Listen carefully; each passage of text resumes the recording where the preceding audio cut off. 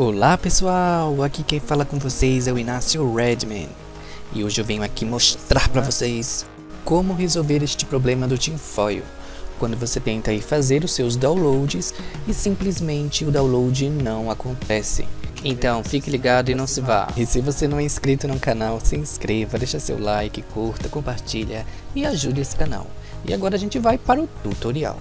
Isso acontece porque simplesmente o tinfoil está desatualizado e as lojas que estão aí conectadas, elas não estão mais funcionando. Então para a gente poder resolver esse problema, nós vamos precisar aí baixar o Discord. Porque através do Discord a gente vai ter acesso às lojas que estão aí online, ok?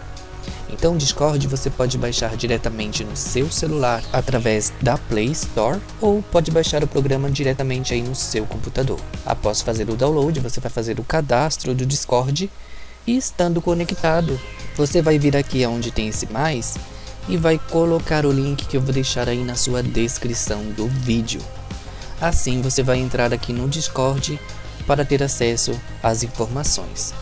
Após você entrar no servidor, você vai clicar aqui em How to Access.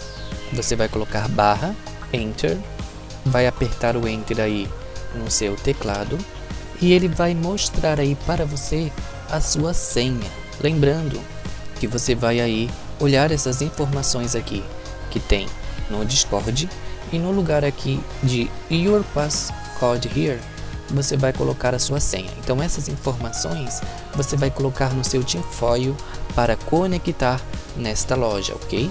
Você aperta o menos no controle e você vai colocando as informações conforme estava escrito no Discord.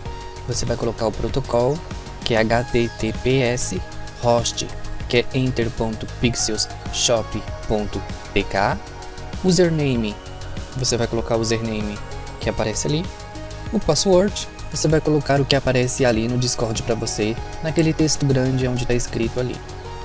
E o título você pode colocar conforme você quiser, né? No caso, Pixel Shop, que seria a loja que disponibiliza aí os downloads, ok? Após você fazer todos esses passos, você vai reiniciar o seu tinfoil e quando ele iniciar novamente, ele já vai aparecer a mensagem carregando a loja normalmente e você assim já vai poder fazer os seus downloads normalmente como antes, ok?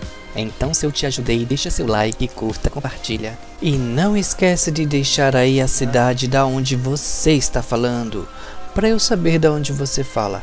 Um abraço e até mais.